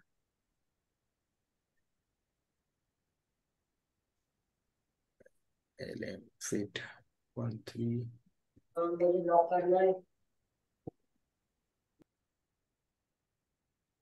क्योंकि मैंने उसी नाम से कर दिया सब। Adjusted seven six nine two adjusted seven six nine two adjusted seven six nine two इसकी पहले adjusted seven six nine two सभी में सेवन कुछ चेंज नहीं आ रहा है। चेंज आना चाहिए। सर आपके हर उसमें एस्ट्रिक्स लगा हुआ है वो कमांड ले ही कहाँ रहा है? वो हम्म। हाइफन लगा हुआ है क्या बोलते हैं उसे? ये। आ, अरे नहीं नहीं आपने जो ऊपर फॉर्मूलाज लिखे हैं ना सर उसमें पहले ये? आ, हाँ। नहीं ये तो मैंने वो नोट्स है। कमेंट है कमेंट है। ये हाँ, ये ये इधर कमेंट थोड़ी है है इधर लेकिन नहीं है। ना बाकी तो रन में आ रहे हैं ना बाकी बाकी रन में चीज़ें आ लाइब्रेरी बाकी रन है में आ और रहे हैं। चलिए मैं क्यों नहीं चेंज हुआ ये? देखूँगा मैं इसको।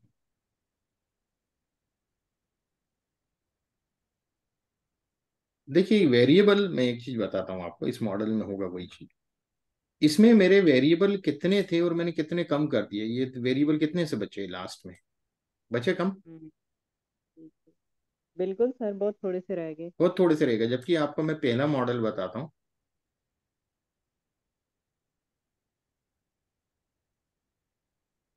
पहले मॉडल में वेरिएबल हमारे पास ये है। ठीक है ना? हम्म। इतने वेरिएबल थे और और भी अपन ऊपर जाते हैं ऊपर जाते हैं ऊपर जाना पड़ेगा बहुत। सॉरी मैं हम्म, ज़्यादा होते जा रहे हैं ऊपर जा रहे हैं तो ये देखें इसमें कितने ज़्यादा हैं। हाँ ये देखिएगा ये सब वेरिएबल सबसे ज़्यादा थे यहाँ पे। ठीक है ना? हम्म। ये वेरिएबल थे अपने तो स्ट्रक्चर है। ये वेरिएबल थे इतने वेरिएबल थे। और यहाँ point seven seven one three था शुरू का sorry. One three. One three था अब अपना सिक्स फोर हुआ है। हम्म। मतलब बढ़ गया है ना? हम्म तो आप देखिएगा मैंने इतने में से वेरिएबल हटा दिए जो काम के नहीं थे। हम्म। है ना? वो वेरिएबल यहाँ से मैंने डिसाइड करके जिनका भी वैल्यू पॉइंट ज़ीरो फाइव से ज़्यादा है वो वेरिएबल हटाना चालू कर दिया मैंने। ठीक है। है ना? ये पी वैल्यू है लास्ट वाले कॉलम में।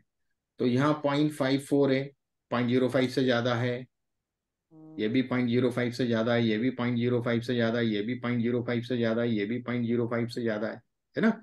एक एक करके हटाना पड़ता है। ऐसा नहीं कि मैं जितने पॉइंट ज़ीरो फाइव से ज़्यादा है सबको एक साथ हटा दूँ। सही सही। वन बाय वन क्या होता है कि एक को आपने हटाया तो इनका मिला हम्म। जुला इफ़ेक्ट होता है सबका। हम्म। टारगेट वेरिएबल पे। तो मान लो किसी क्लास में कोई बुलिंग बच्चा है चार पाँच लोगों लोगों का ग्रुप है और वो बहुत क्लास में बुलिंग कर रहा है। तो आप क्या करेंगे? आप जो उसका लीडर होगा ना उसको पहले हटाएँगे ना। बिल्कुल। हम्म। क्लास से बाहर पहले निकालेंगे उसको पहले पनिश करेंगे जो भी करके इसलिए हटाते हैं क्योंकि आ, हाँ उसके इफ़ेक्ट जो है। हो सकता है। हाँ। तो क्या होता है कि आपने सबसे ज़्यादा बुलिंग वाले को पहले पनिश कर दिया हटा दिया क्लास से तो हो सकता है वो तीन सरेंडर कर दें। हम्म। हम्म। तो ऐसा ही इसमें होता है कि यदि अपन जिसका वैल्यू पी सबसे ज़्यादा है उसको पहले हटाओ। हम्म। है ना? हो सकता है कि दूसरे अपने आप चेंज हो जाए value is it clear change हो भी सकते हैं नहीं भी हो सकते दोनों पॉसिबिलिटी है। है ना? हम्म। तो जिसका कम इफ़ेक्ट है उसको पहले हटाते जाते। कम इफ़ेक्ट है ना जिसका पी तो वैल्यू सबसे ज़्यादा है। कंबाइंड इफ़ेक्ट होगा उसमें कम हो जाएगा। हाँ। जिसका बिल्कुल ही इंडिपेंडेंट इफ़ेक्ट होगा वो वैसा ही तो ऐसे करके हम लोग वेरिएबल हटाते जाते हैं। तो जो वेरिएबल सिग्निफिकेंट इम्पैक्ट डाल रहे होते हैं इफ़ेक्ट डाल रहे होते हैं वही वेरिएबल बचते हैं लास्ट में हमारे पास।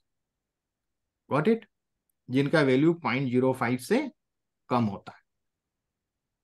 इज़ इट क्लियर यस तो यहाँ भी पूरा इन्फ्लुएंशियल यूज़ हो रहा है कि नहीं हो रहा है? हो रहा है सर अभी तक हो रहा है सर यहाँ भी इन्फ्लुएंशियल यूज़ होता है पूरा प्रोडिक्टिव में भी। ठीक है। तो ये इस प्रकार से काम करता है आर स्क्वायर सब में आर स्क्वायर देखिए point seven seven one two है, फिर नीचे आए अपन, थोड़ा सा तो point seven seven one two फिर और नीचे आए तो पॉइंट सेवन सेवन वन वही वन टू ही है। और फिर आए तो पॉइंट सेवन सेवन वन फिर point seven seven zero seven फिर और आए तो point seven seven zero four point seven seven zero four है ना? और point seven seven zero four last में हमारे पास आया। ठीक है? तो हम्म। हमने वेरिएबल हटाए तो आर स्क्वायर तो कम हुआ हमारा। हमारा पहला आर स्क्वायर था पॉइंट सेवन सेवन में शुरू वाला बताता हूँ। जो था वो ज़्यादा था इन सबसे। हम्म। वो मैं आपको पहला वाला बता देता हूँ। पहला वाला था याद रखिएगा इसको पहले वाले को। Point seven seven one three था। Seven seven thousand seven hundred thirteen है ना? हम्म सात सौ तेरह था लास्ट में और यहाँ पर देखेंगे एंड वाले में सात सौ चार तो सात सौ तेरह जो है वो आर स्क्वायर ज़्यादा अच्छा था ना इससे? बिल्कुल। सात सौ चार उतना अच्छा नहीं है। हम्म। बट क्या होता है कि जो नॉन सिग्निफिकेंट वेरिएबल हमने हटाए तो हर वेरिएबल कुछ ना कुछ यूनिक इंफॉर्मेशन भी रखा था अपने साथ। रखा था? जो डिलीवर करता टारगेट वेरिएबल को। हम्म। चाहे वो वन परसेंट रखा हो टू परसेंट रखा हो। तो वो इंफॉर्मेशन यदि हमने उन वेरिएबल को हटाया तो वो इंफॉर्मेशन लेके चले गए। वो इंफॉर्मेशन मिली नहीं टारगेट वेरिएबल को। तो आर स्क्वायर कम हो गया। हम्म। थोड़ा सा बहुत ज़्यादा नहीं हुआ है मार्जिनल डिफरेंस आया। है? हैं? बहुत कम आया ना है। डिफरेंस हम्म बहुत ज़्यादा नहीं आया है। भाई 713 से 704 बहुत ज़्यादा इंफॉर्मेशन हमने लूज नहीं करी। करी क्या? What it hmm. Is it clear एक सेकेंड मैं एक minute.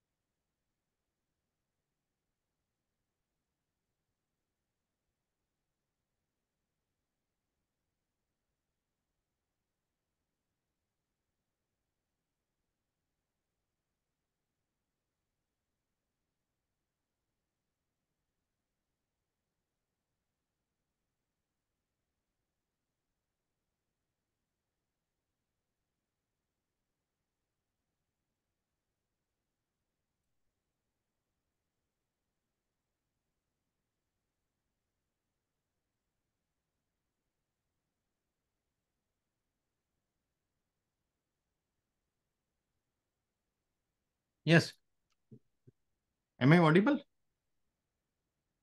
hello हाँ। जी सर जी सर देखिएगा इसका मतलब ये नहीं है कि एकदम वेरी हम वेरिएबल हटा रहे हैं। तो सब वेरिएबल इंफॉर्मेशन लेके जाएँगे और हमारा आर स्क्वायर कम होगा। ऐसा नहीं होता है हमेशा। क्या होता है?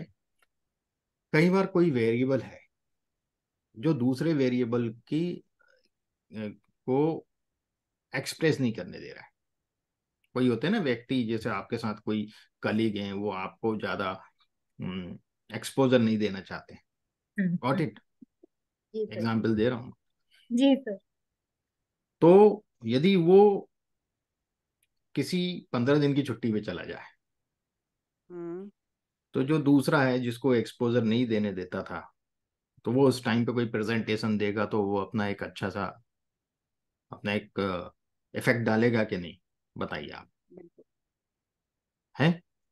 बिल्कुल सर। उसके एब्सेंस में। ऐसा ही हम्म कुछ वेरिएबल्स होते हैं जिसको दूसरे वेरिएबल सप्रेस कर रहे होते हैं। हम्म। तो यदि हम उस वेरिएबल को हटाते हैं तो वो वेरिएबल ज़्यादा इंफॉर्मेशन डिलीवर कर पाता है पहले की अपेक्षा। What my point is it clear yes sir तो इस प्रकार से कई बार आर स्क्वायर वैल्यू बढ़ भी जाती है। है ना? इज़ इट क्लियर अभी अपन बहुत सी चीज़ें समझेंगे इसमें। अभी तो मैंने खाली आपको एक ट्रेलर दिखाया है कि हाँ कैसे काम होता है। बहुत आसान है। आ, पहला स्क्रिप्ट ज़रूर थोड़ा सा लंबा लगेगा आपको क्योंकि डेटा प्रिपरेशन पार्ट भी है। देखिए दो चीज़ें होती हैं। इसमें डेटा प्रिपरेशन बहुत ही सीरियस चीज़ है।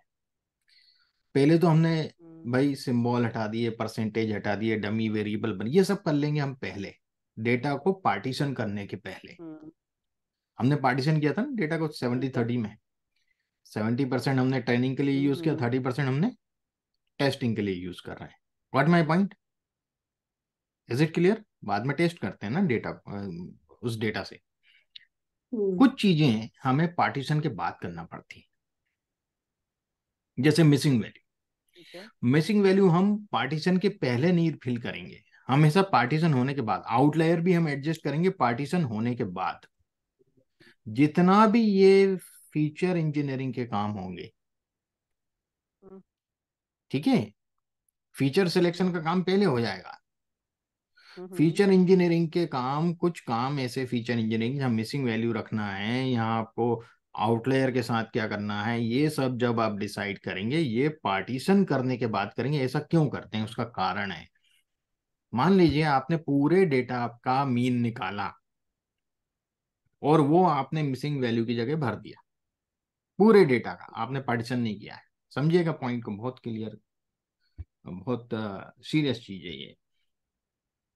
अब क्या हुआ कि जो टेस्ट के लिए डेटा आप अलग करते भविष्य में उसकी इंफॉर्मेशन भी आपने दे दी? मिसिंग वैल्यू के हम्म साथ? मिसिंग वैल्यू में मीन जो आया पूरे डेटा का आया? व्हाट इट यस तो वो डेटा पॉइंट्स को भी इन्वॉल्व कर लिया गया है जो टेस्ट के लिए लिए आप अलग करते बाद में पार्टीशन में। इज़ इट क्लियर उसका भी रिफ्लेक्शन उस मीन के अंदर आया कि नहीं आया? आया ना? यस पहली चीज़। तो वो मीन आपने भर दिया पहले ही फिर आपने पार्टीशन किया। अब पार्टीशन करने के बाद आपने ट्रेन ट्रेन जो डेटा था सत्तर परसेंट उससे आपने मॉडल बना लिया। हम्म। उस सेवेंटी परसेंट डेटा में वो वाला मीन भी है जो इम्प्यूट करके रखा था आपने मिसिंग वैल्यू की जगह। है कि नहीं? है। हम्म। तो वो मीन अपने साथ टेस्ट डेटा का भी कुछ इंफॉर्मेशन साथ में लिए हुए है कि नहीं है? बताइए आप। बिल्कुल इंफॉर्मेशन तो लिया ही है ना क्योंकि पूरे डेटा से हाँ हाँ कुछ ना कुछ इन्फॉर्मेशन तो होगी सर। है ना? तो वो इन्फॉर्मेशन उसने पहले ही मॉडल को दे दी।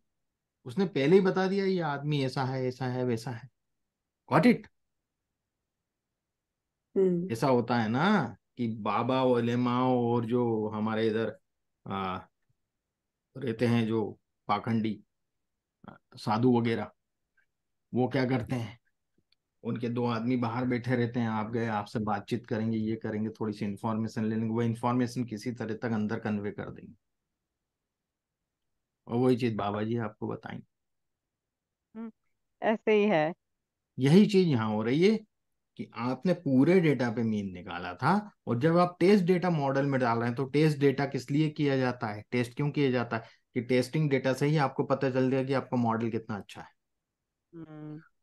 ट्रेंड डेटा का से आप इवेल्युएट कर रहे हैं आर स्क्वायर वैल्यू मिल रही है सेवन सेवन ज़ीरो फोर ठीक है? ओके ये तो भाई उसी डेटा से ट्रेंड हुआ था उसी पे प्रडिक्शन ले रहे हैं हम। व्हाट माई पॉइंट अनजान डेटा डालें फिर मतलब अनटच्ड बेसिकली अनटच्ड होना चाहिए टेस्ट हाँ। डेटा टेस्ट डेटा जो उसने कभी देखा नहीं हो मॉडल ने। तो इसलिए कुछ चीज़ें हम लोग पार्टीशन के बाद करते हैं प्रिपरेशन गॉट इट यस आप देखेंगे ना कुछ चीज़ें मैंने पहले करी हैं। पार्टीशन के पहले बहुत सी चीज़ें करी। यहाँ पार्टीशन के पहले तक मैंने ये जो है डमी वेरिएबल्स वगैरह बनाए हैं मंथ्स वगैरह हटाए ये सब किया। और पार्टीशन के बाद फिर मैंने एनए का काम किया। Missing hmm values. वो सब क्या भरना थी वो सब मैंने काम वो जो काम है एनए को हटाना है ना? फिर उसके आउटलायर ये आउटलायर वाला फॉर्मूला है हम्म? हम्म हम्म ये आउटलायर वगैरह सब मैंने पार्टीशन के बाद एडजस्ट किए खाली ट्रेनिंग डेटा में। अब होता क्या है कि अब आप बोलेंगे कि सर टेस्ट डेटा में भी मिसिंग वैल्यू है। ट्रेनिंग डेटा की तो हमने ट्रेनिंग डेटा के मीन से भर ली। व्हाट इट ट्रेनिंग डेटा की मिसिंग वैल्यू किससे भरेंगे? ट्रेनिंग डेटा के मीन से। पर टेस्ट डेटा की भी मिसिंग वैल्यू ट्रेनिंग डेटा के मीन से ही भरी जाएगी ना कि टेस्ट डेटा के मीन से। समझ रहे हैं आप पॉइंट को? यस सर किससे भरेंगे हम? ट्रेनिंग डेटा के मीन क्या है सर हैं? कारण क्या है? क्या है कि वो पैरामीटर जो रहेगा ना जो हमने मिसिंग वैल्यू के लिए एक वो निकाली कि जो भी मिसिंग होगा वो उसमें हम ये वैल्यू भरेंगे। ट्रेनिंग डेटा से हाँ। आपने निकाल ली। अब अब यदि टेस्ट डेटा आपके पास कोई और भेजा फिर दूसरे ज़िले का कुछ और आया दूसरे डिस्ट्रिक्ट का कुछ और आया और उनमें भी मिसिंग वैल्यू तो सबका मीन अलग अलग आएगा कि नहीं आएगा? हम्म। है ना? हम्म। तो वो आपका फिर तो गड़बड़ हो गया ना मामला। तो वहाँ तो आपको सेम वैल्यू चाहिए ना ऑथेंटिक तो इसलिए ट्रेनिंग डेटा की वैल्यू आउटलायर हम्म। भी जो फ्लोरिंग कैपिंग करते हैं तो उसका भी जो limit upper limit lower limit निकाला जाएगा वो ट्रेनिंग डेटा का ही हम लोग उसके अंदर एडजस्ट करेंगे। What it is it clear yes sir तो हमेशा ट्रेनिंग डेटा के ही पैरामीटर को हमें डालना है टेस्ट डेटा में। तो ये सब चीज़ें छोटी छोटी चीज़ें अभी अपन जब करेंगे तो ये और पॉइंट में क्लियर करूँगा आप। ठीक है? तो तब यस जाके जो आपका मॉडल है अपनी एक्यूरेसी लॉस नहीं करेगा ओवरफिट भी नहीं होगा है ना? नहीं तो ट्रेनिंग डेटा पे तो अच्छा दे रहा है और टेस्ट डेटा पे मॉडल फेल गया। ठीक है? सर अप टू कितना सेवेंटी परसेंट तक कुछ वो लेते हैं? या कब कितने किस लेवल तक फिर हम उसको रिजेक्ट कर लेते हैं? देखिए पहले जो मॉडलिंग थी पचास परसेंट के ऊपर आज से सात आठ साल पहले यदि कोई मॉडल पचास साठ परसेंट दे रहा है बहुत अच्छा माना जाता पर अब इतना ज़्यादा एडवांसमेंट हो गया है जी न्यूरल नेटवर्क के आने के बाद। हम्म हम्म। न्यूरल नेटवर्क और ये जो हम मशीन लर्निंग एल्गोरिथम है जो लीनियर जी। रिग्रेशन हम कर रहे हैं ये मशीन लर्निंग से कर रहे हैं। हम न्यूरल अच्छा। नेटवर्क यूज़ नहीं कर रहे हैं इसमें। ठीक है। डिफरेंस क्या है कि मशीन लर्निंग यदि आपके पास कम डेटा है कम डेटा यानी हज़ार पाँच जी। हज़ार बीस हज़ार पचास हज़ार एक लाख दो लाख कम डेटा के हम्म है सही है। ना? आपके पास मिलियंस ऑफ़ रोज हैं यदि। ठीक हो गया। तो वो बिग डेटा हो जाता है। है ना? सही। बहुत ज़्यादा क्वांटिटी में है। यदि आपको और इसमें मैथमेटिकल फॉर्मूला लगता है। हम्म। इसको एलएम में मैं वही बताऊँगा फॉर्मूला कैसे क्या रहता है वो। तो मैथमेटिक्स में कंप्यूटेशनल पावर बहुत ज़्यादा लगेगी। जब बड़ा डेटा होगा तो। हम्म। लगेगी नहीं। भाई अपन को यदि दस संख्याएँ जोड़ने में कम समय लगता है पचास संख्या को जोड़ने में ज़्यादा टाइम लगेगा कि नहीं लगेगा? सम करने में। ऐसे ही कंप्यूटर को भी टाइम लगता है पर वो फ्रिक्शन ऑफ़ सेकंड्स में लगता है। फिर भी यदि बहुत बड़ा डेटा होगा बहुत सारा कंप्यूटेशन है तो बहुत टाइम लगाएगा। लगाएगा? हम्म। तो उस टाइम पर न्यूरल नेटवर्क यूज़ होता है। बड़ा डेटा होगा तो न्यूरल नेटवर्क बहुत अच्छी एक्यूरेसी देता है। वो पैटर्न को समझता है। वहाँ वो भी कॉफिशेंट ही निकालता है, जैसे अपन यहाँ निकालते हैं। पर वो दूसरी टेक्निक हो जाती है ना? उसका लर्निंग अलग होता है। तो कम डेटा के लिए मशीन लर्निंग हम लोग यूज़ करते हैं। दो पाँच दस हज़ार का डेटा है तो हम मशीन लर्निंग बेटर है। न्यूरल नेटवर्क वो रिज़ल्ट ही नहीं देगा, वो एक्यूरेसी उतनी अच्छी नहीं देगा। न्यूरल नेटवर्क को बहुत ज़्यादा क्वांटिटी में डेटा चाहिए। उसको ट्रेनिंग डेटा बहुत चाहिए होता होगा। हाँ बहुत ट्रेनिंग डेटा चाहिए उसको। ई है कॉमर्स जनरली यूजेस दैट तो ये उसका मेन रीजन है कि एक्यूरेसी जो है अब काफ़ी अच्छी आने लगी है और इसमें भी हम मॉडल को मॉडिफाई करते हैं आगे चल के। डिपेंड करता है कि डेटा कैसा है। सर रियाज जिस तरह का डेटा यूज़ करेंगे वो न्यूरल नेटवर्क का होगा करेक्ट क्योंकि वो कमर्शियल ऑर्गेनाइजेशन कमर्शियल ऑर्गेनाइजेशन बड़ा डेटा रहता है बिग डेटा रहता और वो सब भी आर पे होता है। आर पे भी होता है न्यूरल नेटवर्क। आर पे भी है। मेरे पास है उसके भी स्क्रिप्ट हैं।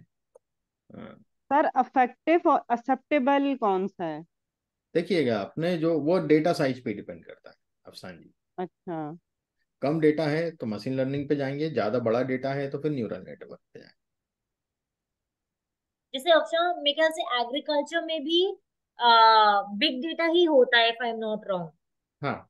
है ना? बिल्कुल क्योंकि हम तो डील ही रेन वाटर को करते हैं हर उसको करते हैं precipitation temperature humidity hmm. Soil soil के पार्टिकल्स यानी हमारी भी यही सारी चीज़ें हैं ना हम तो एक्चुअल नेचर से रिलेटेड पैरामीटर्स को ऑब्जर्वेशन स्टडी कितने होते हैं आपके पास? नहीं एक आप मिनट। कंटिन्यूअस मशीन से लेते होंगे ना डेटा अक्षां आ, नहीं मशीन से तो नहीं लेते इधर डिपार्टमेंट्स हैं जो last fifty years sixty years से डेटा ले रहे हैं कुछ ना कुछ।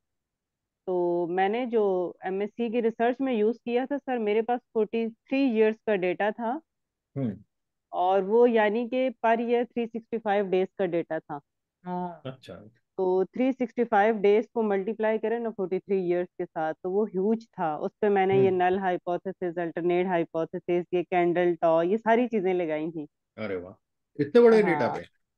इतने बड़े डेटा पे। सर वो मैंने सारा टाइप किया था। हार्ड फॉर्म में डेटा मुझे डिपार्टमेंट से मिला था कि इनकी तो वो कहते हैं ना सिक्योरिटीज इश्यूज़ होते हैं। तो वो सारा हम्म। मैंने डबल वो स्केन पुरानी टाइपिंग मशीन का डेटा था स्केन मेरे पास आया था। वो मैंने टाइप किया था एक्सेल में। अरे। तो उसके बाद से तो मेरी आई साइड पे असर पड़ा है। अरे तो अभी मैं ये सोच रही हूँ कि मैं दोबारा उस चैप्टर को खोलूँगी बैठ के कि ये जो आर अभी हम पढ़ रहे हैं तो पर इंशाल्लाह मैं ये अप्लाई करूँगी मेरी प्रैक्टिस हो जाएगी। हाँ। तो और मुझे अक्सर आजकल वो तो मेरे क्या है कि सुपरवाइजर कहते पीडीएफ हैं से ना भी कि ज़ोर लगाओ तो पीएचडी कर लो। तो मैं उससे कहती होती हूँ सर मुझे पीस ऑफ़ पेपर नहीं चाहिए। तो मुझ पे हँसते हैं कि तुम तो पागल हो। अरे भाई क्या है?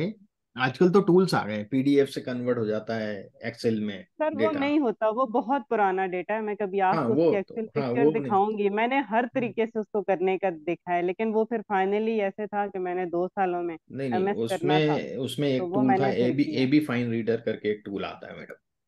अच्छा अच्छा। वो किसी भी तरह का डेटा हो चाहे टाइपिंग करा हुआ हो हम्म हम्म। कोई भी डेटा हो उसको कन्वर्ट कर देता वर्ड में या अच्छा एक्सेल में।